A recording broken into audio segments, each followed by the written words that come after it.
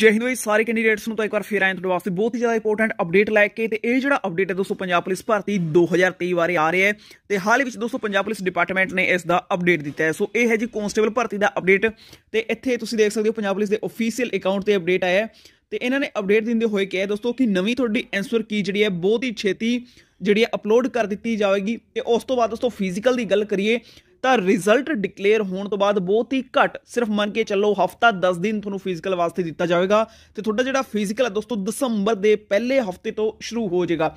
ਯਾਨੀ ਕਿ ਮੰਨ ਕੇ ਚੱਲੋ ਨਵੰਬਰ ਦਾ ਤੀਜਾ ਹਫਤਾ ਹੁਣ ਸਟਾਰਟ ਹੋ ਚੁੱਕਿਆ ਹੈ। ਨਵੰਬਰ ਦੇ ਤੀਜੇ ਹਫ਼ਤੇ ਦੇ ਐਂਡ ਜਾਂ ਚੌਥੇ ਹਫ਼ਤੇ ਦੀ ਸ਼ੁਰੂਆਤ ਦੇ ਵਿੱਚ ਤੁਹਾਨੂੰ ਰਿਜ਼ਲਟ ਦੇ ਦਿੱਤਾ ਜਾਵੇਗਾ।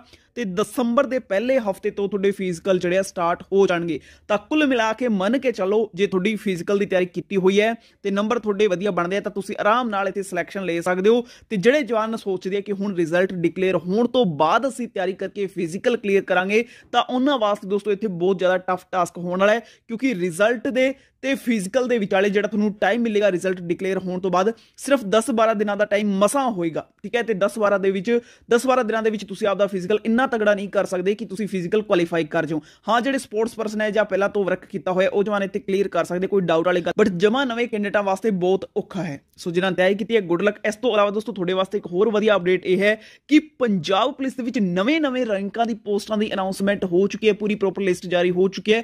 ਕਾਫੀ ਜ਼ਿਆਦਾ ਪੋਸਟਾਂ ਇਤਕੀ ਜਾਰੀ ਹੋ ਰਹੀ ਹੈ ਸੋ ਕੰਪਲੀਟ ਡਿਟੇਲ ਜਿਹੜੀ ਤੁਹਾਨੂੰ ਪ੍ਰੋਵਾਈਡ ਕਰਵਾਵਾਂਗੇ। ਸੋ ਜੇ ਤੁਸੀਂ ਪੰਜਾਬ ਪੁਲਿਸ ਭਰਤੀ ਦੇ ਚਾਹਵਾਨ ਜਵਾਨ ਹੋ ਤਾਂ ਚੈਨਲ ਸਬਸਕ੍ਰਾਈਬ ਜਰੂਰ ਕਰ ਲਿਓ, ਠੀਕ ਹੈ? ਤੇ ਤੁਹਾਡਾ ਕੋਈ ਸਵਾਲ ਹੋਏ ਡਾਊਟ ਹੋਏ ਕਮੈਂਟ ਕਰਕੇ ਪੁੱਛ ਲਿਓ। ਆਪਾਂ ਮਿਲਦੇ ਹਾਂ ਨੈਕਸਟ ਵੀਡੀਓ ਵਿੱਚ। ਉਦੋਂ ਤੱਕ ਦੇ ਲਈ